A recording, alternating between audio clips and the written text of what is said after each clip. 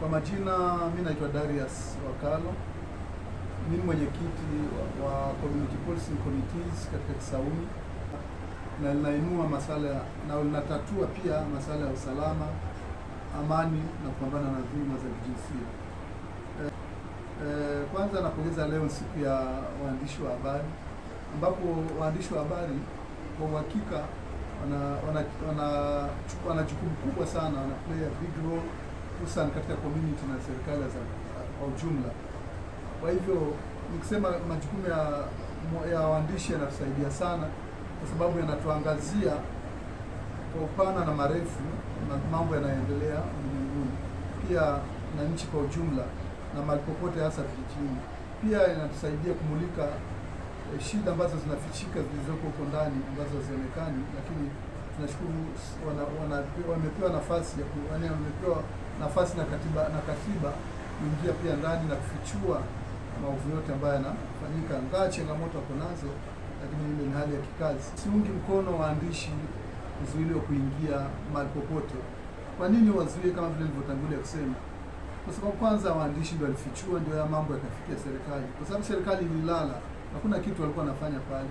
Tukiangalia pale pa- hapo ma, maeneo ya Shakahola viko viko vitengo vya serikali, wako wazee wa vijiji, wako wa- machifu wako pale, wao ndio walizembea. Sasa serikali ikaona ni aibu ya aibu yao imejitokeza, ndio akaona kwa nini e, waruhusu waandishi waingie ndani, watafichua maovu zaidi. Na mambo ya wanahabari kudhulumiwa, mimi ilikuwa ni jambo la kushangaza kusikia wanahabari wanadhulumiwa. Mwanahabari anakosa gani mpaka ananyang'anywa kamera inaangushwa na askari, ambapo tunakosa sana kunini ku- ku- kunini ku- kumnyang'anya ile kamera na kuivunja. Na kama maandamano, jambo liko katika katiba, sioni ni kitu gani kinafichika kina- kina- kinafichika pale, kwa sababu wale waandishi walikuwa wanachukua information na mpate ni jukumu lake pale la kikazi, na anakula kupitia hizo habari anazotoa.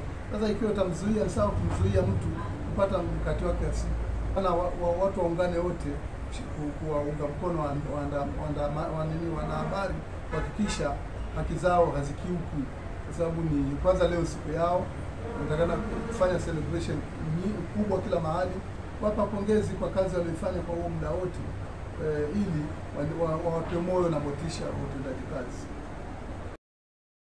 Jina ni Captain Baruku Benson, na mimi katika upande wa vyombo vya habari na fahamu ya kwamba wana uhuru mkubwa sana wa kufanya mambo yao, lakini sasa imefika mahali wanazuiwa, na hiyo si vizuri, maana wana habari ndio nuru na macho ya wananchi.